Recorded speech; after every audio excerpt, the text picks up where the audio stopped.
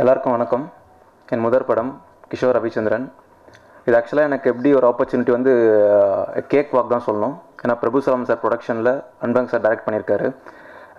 இந்த க எனக்கு கதாபாத்திரம் ஆக்சுவலாக பார்த்தீங்கன்னா டோட்டலாக டிஃப்ரெண்ட் கேரக்டராக பண்ணியிருப்பேன். இந்த முக்கியமான கதாபாத்திரம் கொடுத்த அன்பழகன் சாருக்கும் பிரபுசலம் சாருக்கும் முதல் நன்றி. படம் வந்து ரொம்ப எக்ஸ்ட்ராவாக வந்திருக்கு. நீங்கள் பார்த்துருப்பீங்க. ஸோ ப்ளீஸ் சப்போர்ட்டர்ஸ் கரெக்டாக எழுதுங்க.